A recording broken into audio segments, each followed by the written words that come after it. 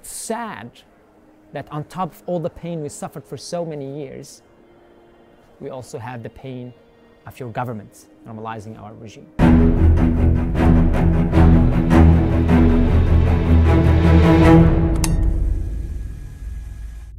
As a Syrian, as an Arab, as someone who suffered from an Arab regime, um, and as someone who is aware that these countries that are normalizing this regime know, they all know of the crimes of this regime, I feel disappointed.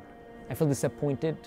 I, I know these governments who are normalizing are, to, to an extent, themselves autocratic regimes, uh, authoritarian regimes.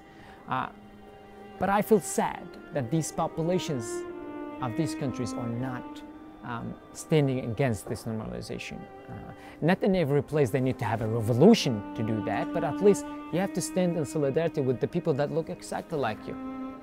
They are married from you. There are so many relatives for us as Syrians in every country. So you cannot just see us dying, suffering, and let your government support our killing. That's unethical for you.